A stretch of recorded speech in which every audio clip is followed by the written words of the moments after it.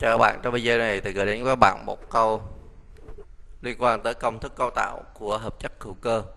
Có cùng công thức phân tử là C2H4O2 để chúng ta viết được một công thức cấu tạo của một hợp chất hữu cơ thì bước đầu tiên các bạn là đi tính K. K đây chúng ta sẽ bằng tổng liên kết bi cộng vòng. Ở đây ờ, thông thường thì người ta chỉ cho chúng ta một thở thôi do đó mình chỉ quan tâm tới pi sẽ bằng 2 nhân cho số carbon là nhân 2 trừ đi số hydro là 4 cộng 2 tất cả em chia cho 2 thì đây mình tính được nó sẽ bằng ờ, uh, 1 nghe kia bạn ơi. Đối với trường hợp mà nó có 1 pi bằng 1 này được chưa? Mà trong trường hợp này nó có hai oxy thì nó sẽ chia thành hai trường hợp à, trường hợp 1 của chúng ta đó là nó là đơn chức. Đơn chức là ờ, chỉ có một nhóm chức. Thì nó có thể là axit hoặc este được chưa? Đối trường hợp này nó có thể hai trường hợp. Một nó là axit. Axit là trong hữu cơ là có nhóm chất COOH tổng của chúng ta là C2H4O2 thì còn lại đây là CH3 được chưa? Thằng này có tên là axit acetic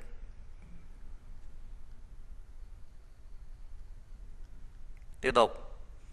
Nó là EST este là có dạng đó là gì? Đó là COO lưu ý là este bên trái này có thể là hydro hoặc là góc hydrocarbon nhưng bên phải này phải là góc hydrocarbon vì nếu nó là hydro thì nó trở thành axit như vậy đây H đứng đầu.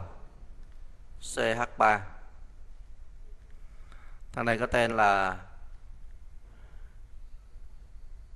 metin format.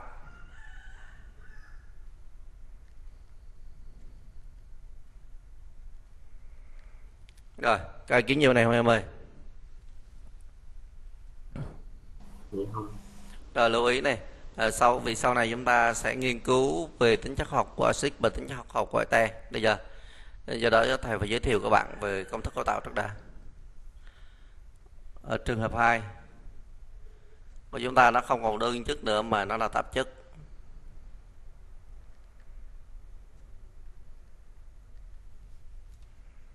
À, tạp chất như sau. Tạp chất là nó chứa đồng thời hai nhóm chất được chưa? Mà ở đây chúng ta có hai oxy như vậy, tạp chất chúng ta thường hay gặp nhất là có chứa một nhóm OH và chứa một nhóm chất CHO đây ơi CHO và đây là OH được chưa em? Ở tổng chúng ta đang là mấy C. Tổng chúng ta đang 2C thì còn lại 1C 4 hydro thì còn 2 và đây là công thức thứ ba. Như vậy ứng với công thức C2H4O2 thì sẽ có ba công thức cấu tạo mạch hở chúng ta chỉ quan tâm tới mạch hở thôi còn mạch vòng hầu như không đúng rồi ca kiến gì chỗ này không? Dạ không? Hương kiếm nhiều Hương ơi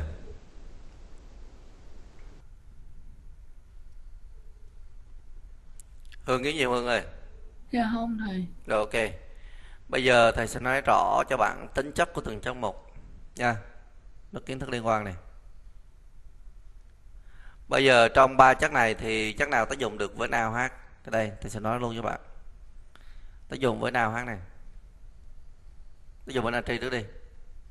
Điều kiện tới dùng với natri trong hữu cơ đó là những hợp chất có nhớ nhóm chất OH hoặc nhóm chất COOH OH là nhóm chất của rượu COH là của axit. Rồi, như vậy trong trường hợp này mình có axit este với tạp chất thì axit chúng ta có nhóm chất COH ta dùng được.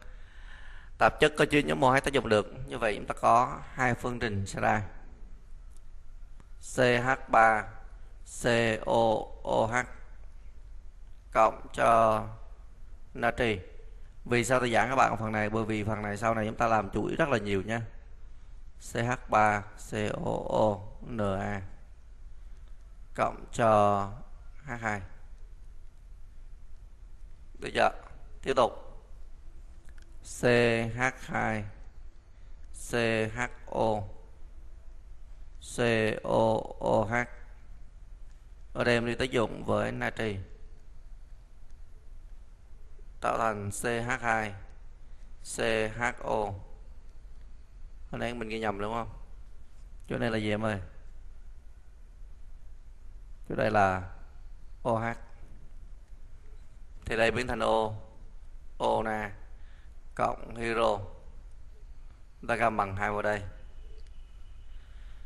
Rồi, hai vào đây thì bên này hai natri, hai đủ. Phương trình trên cho bằng chưa đúng thôi nha ba hai u một xì. Rồi coi kiến vô này không em ơi? Không ý kiến thì chúng ta đến tính chất thứ hai này đó là tác dụng bởi dung dịch NaOH ờ, khi chúng ta làm những cái bài tập liên quan như thế này thì đi, điều quan trọng là chúng ta nắm bản chất thì nó sẽ cực kỳ quan trọng nha. Rồi để tới dùng được NaOH thì trong hữu cơ chúng ta có hai loại nhóm chất đó là nhóm chất COOH của axit và COO và CO của ET như vậy trong trường hợp này chúng ta có hai hai chất thập mạng đó là axit và ET phương trình đầu tiên CH3 COO CH3COO CH3COOH ta đi tới dùng bằng NaOH vì sao thằng này tới dùng được với NaOH thì giải thích rất đơn giản. CH3COH là một axit NaOH là một bazơ CH3CONa cộng H2O axit tác dụng ở bazơ sẽ tạo ra muối và nước. Tiếp. Đó là HCOO CH3 được tới dùng với NaOH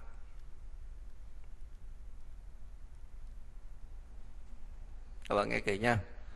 Ở đây lưu ý là cái chỗ này là chúng ta dễ bị sai nhất. Bản chất như thế này. Bản chất là hydro và CO bên ete sẽ kết hợp với ona được chưa? Để tạo ra hợp chất là HCOO cộng cho CH3OH đó. Có kiến gì không em ơi. Hương kiến gì không Hương ơi. Dạ không thầy. Rồi tiếp. Chúng ta đến cái tính chất tiếp theo Đó là tham gia phần tráng gương.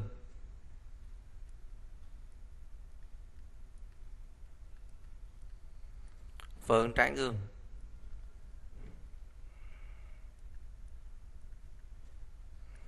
Thế nào là phượng đáng gương thì bây giờ thầy giải thích rõ cho bạn. À, Chất tham gia phượng đáng gương tức là tác dụng được VAGNO3 trong môi trường NH3 Rồi, bản chất của phượng đáng gương như sau. Điều kiện mà trong hữu cơ chúng ta tham gia phượng đáng gương Đó là điều kiện có nhóm chất CHO Hoặc là HCOO như vậy dừa ở đây thì chúng ta thấy có hai chất thỏa mãn. Đó là este có dạng HCO CH3 và tạp chất có nhóm chất CHO nhé. Hai chất thỏa mãn. Chất đầu tiên HCOO CH3 em đi tới dụng với AgNO3 trong môi trường NH3 đúng không? Bản chất ở đây sẽ là gì? Nó sẽ tạo thành là H cộng cho nước nữa em. Mấu chốt là bạn phải hiểu bản chất. Bản chất như sau. Cái phần à, HCOO này, đi nhận thêm oxy vào, kết hợp với thằng CH3 như vậy đây nó sẽ tạo thành hợp chất có ba oxy là HCOO CH3 đó là cái thứ nhất. Theo tiếp theo là hydro bên này. Được chưa? Kết hợp với NH3 biến thành NH4 NH4 kết hợp với NO3 tạo thành NH4 NO3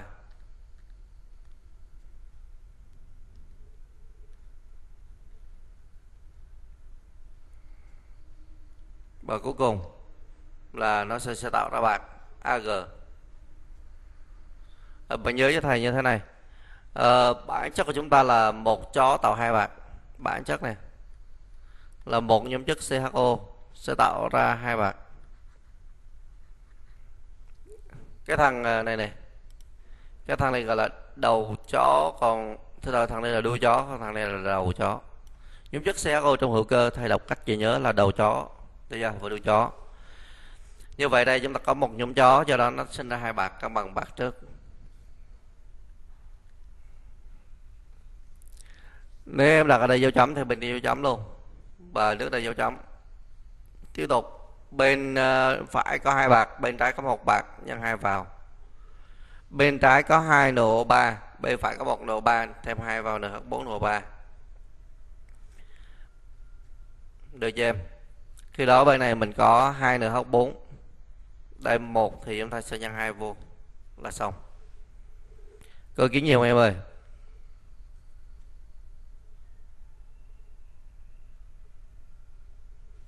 Hai kiến cho mày ơi. Dạ không. Và đây là dấu cái tủm màu trắng. Và phần này chúng ta dùng để nhận biết những hợp chất có chứa nhóm CHO à, sau này à, chắc mà chúng ta trong chương trình chúng ta nghiên cứu trong sách giáo khoa ha, cơ bản của hóa lớp 9 thì đó là glucose và glucose có tính chất này vì nó có nhóm chất CHO hôm sau ta sẽ nói. Được chưa Hưng ơi? Dạ được rồi thầy. rồi ở đây nó còn à, một số tính chất cơ bản nữa thầy sẽ nói thêm luôn. Đó là làm quỳ tím hóa đỏ tác dụng với NaHCO3 tiếp theo này tiếp theo, thông thường ở đây nó hay gặp nữa là tác dụng với NaHCO3 tác dụng với NaHCO3 để tác dụng được với thằng này thì điều kiện ở đây chắc chắn nó phải là gì? Ở đây chắc chắn nó sẽ là gì? Nó sẽ là axit. Chỉ có axit mới tác dụng được với muối thôi.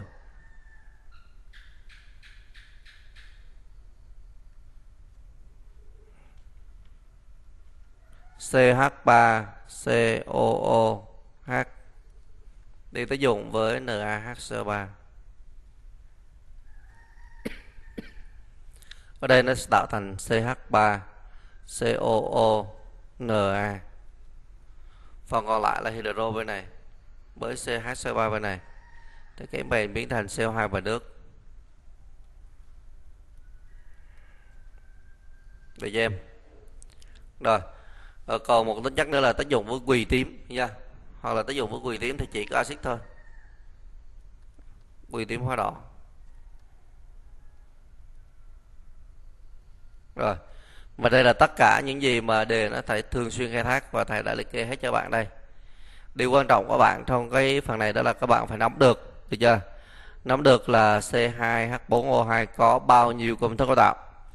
Và thông thường, người ta sẽ, cái cái vô công thức cấu tạo này người ta sẽ cho có chúng ta liên quan tới cái bài tập tìm công thức có thể là người ta cho bài 6 công thức bảy công thức gì đó hay là hai ba công thức gì đó tùy. Và nhiệm vụ chúng ta sẽ dựa vào dự kiện để bài cho để lại công thức nó ra. Hiểu vấn đề không em ơi? Cái nghĩa là bài toán của chúng ta sẽ nó kiểu như thế này này à, ờ, người ta sẽ cho chúng ta phận trái để chúng ta tìm ra được công thức khoảng là C2H4O2 được chưa?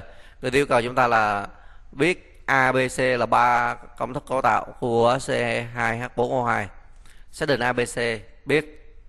Nó thỏa mãn những tính chất học như đề yêu cầu. Hiểu không em ơi?